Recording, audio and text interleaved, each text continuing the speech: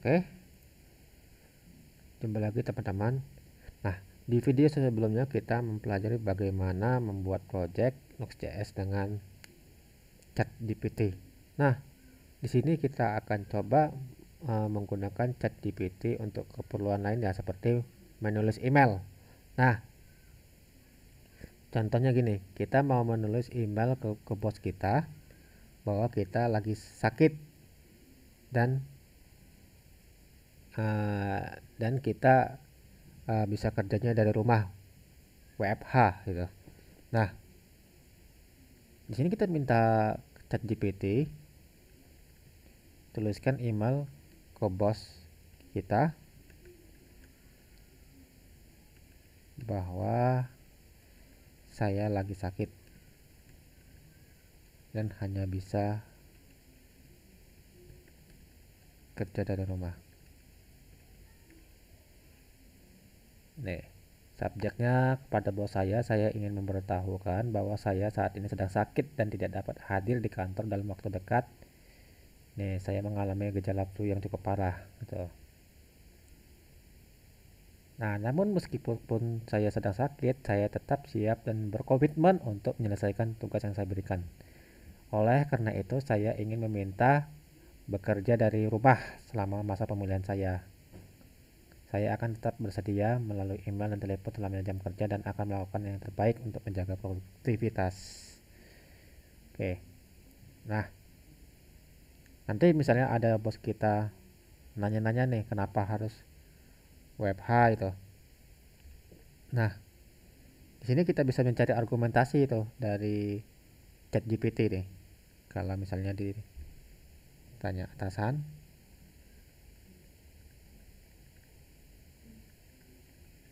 mama. Nih.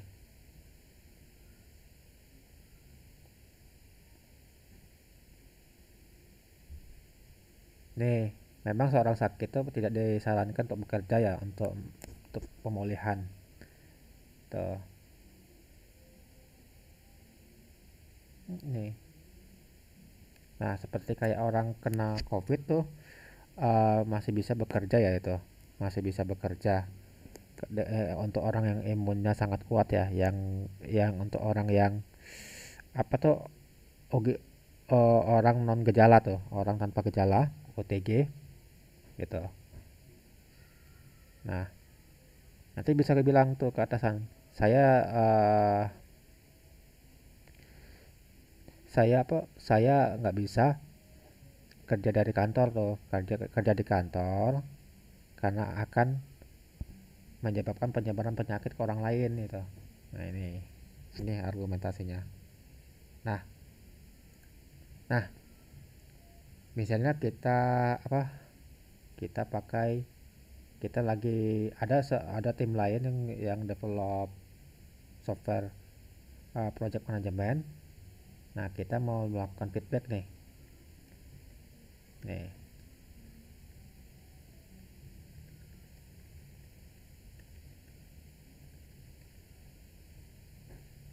nah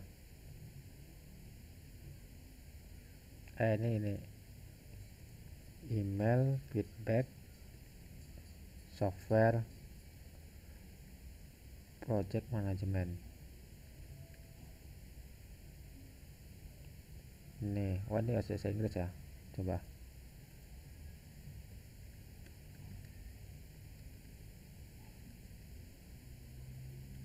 Project management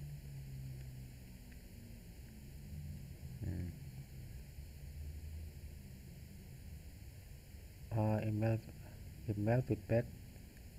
Jelaskan ke dalam jelaskan dalam bahasa Indonesia.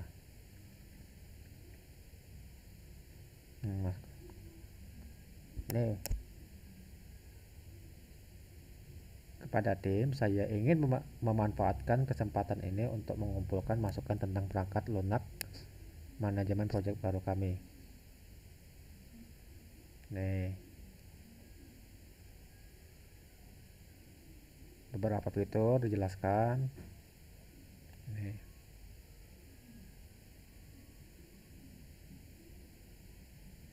oke. Nah.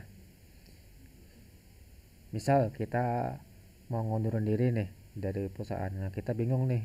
Kita kalau udah cari di Google kan lumayan banyak ya contoh-contohnya ya. Nah mungkin di sini kita bisa cari contohnya nih nah kalau di Google kan ribet kita harus buka satu-satu kan nah kalau di ChatGPT cukup simple seperti ini langsung.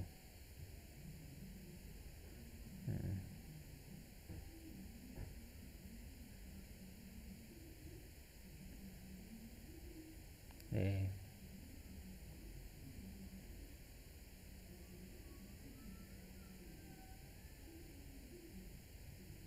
oke nah selain dari chat OpenAI kita juga bisa menggunakan chat GPT dari Microsoft.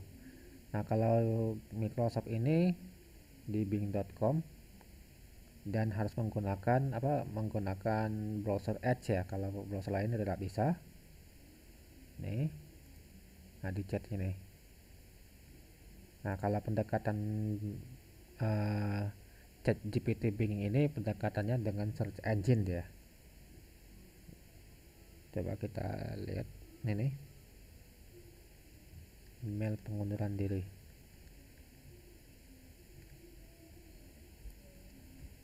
Eh. Contoh email pengunduran diri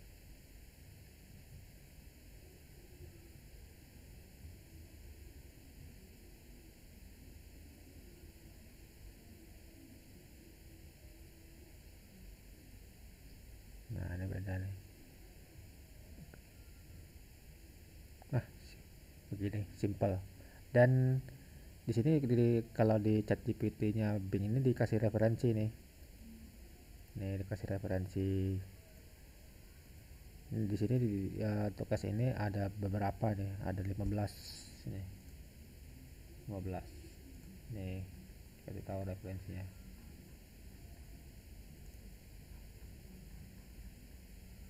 Ini kan hmm. oke sekian yang bisa saya jelaskan. Jumpa lagi di video selanjutnya. Bye